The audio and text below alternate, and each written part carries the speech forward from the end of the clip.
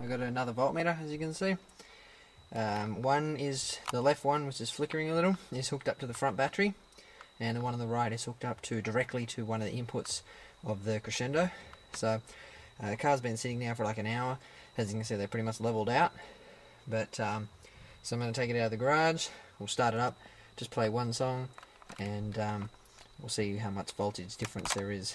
So as I said, the one on the right, this one here is the new one, hooked up directly to the amp. Alright, so the car is slowly building up from where it was. As you can see, this one actually builds quicker because this one's hooked up to the three Optima batteries, uh, well closer to the three Optima batteries to this one.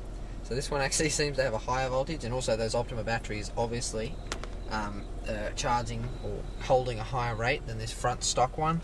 That's why I want to upgrade batteries soon. Um, I'm actually going to get rid of the Optimus too.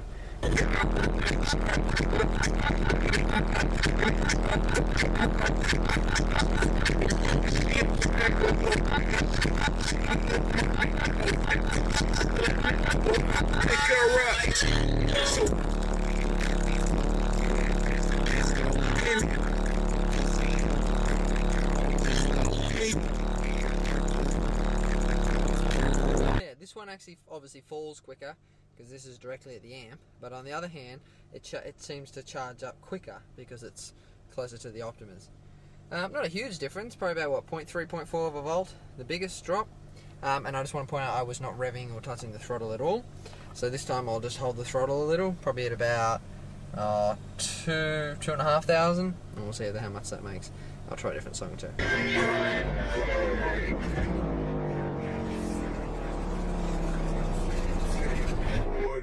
Intention just these? Definitely a noticeable difference there. Was that? Actually hit 11 if you saw there 11.9 I've actually never seen the other one hit an 11 which I don't like. So as I said um, I will be probably replacing battery soon. Currently got three Optima uh, D34s 55 amp hours and the front battery which will, will, will be kind and say it's 50 amp hours. It is pretty big but it's just stock. So probably 200 amp hours maybe just above uh, I'm looking at getting three Fullriver uh, AH uh, no HC 100s or HC 105s so that's how many amp hours they are.